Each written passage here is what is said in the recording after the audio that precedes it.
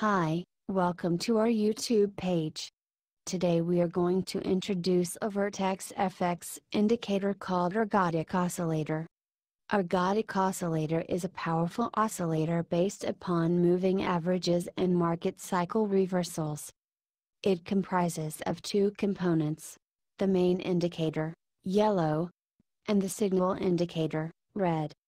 The crossover of these two indicator components provides us with precise trading signals.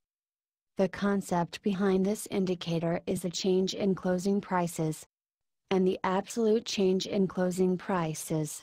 In the first step, we calculate the change in the current close price from the previous close price.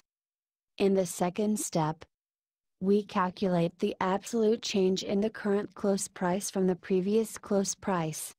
In the third step, we calculate the moving average of the change in closing prices and the absolute change in closing prices over R first period. If the smoothing mode is zero, we calculate the simple moving averages, otherwise we calculate the exponential moving averages. In the fourth step, we again calculate the moving averages of the moving averages calculated in the previous step using the S second period.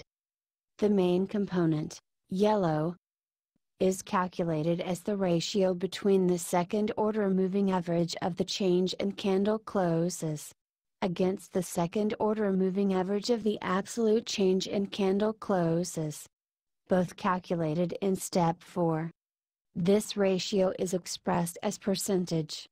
The signal component, red, is calculated as the moving average over the signal period of the main, yellow, component.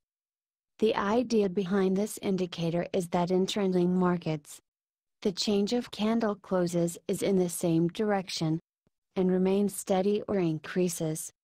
As the market stalls and starts moving sideways, this change decreases or moves in opposite direction. As a result, the moving averages to change direction. Here we are using shorter values for R first and S second to eliminate as much of lag as possible. Buy. Enter buy trade when the main, yellow, line closes above the signal, red, line below the zero level. Do not open the trade if candle has exhibited a gap up opening.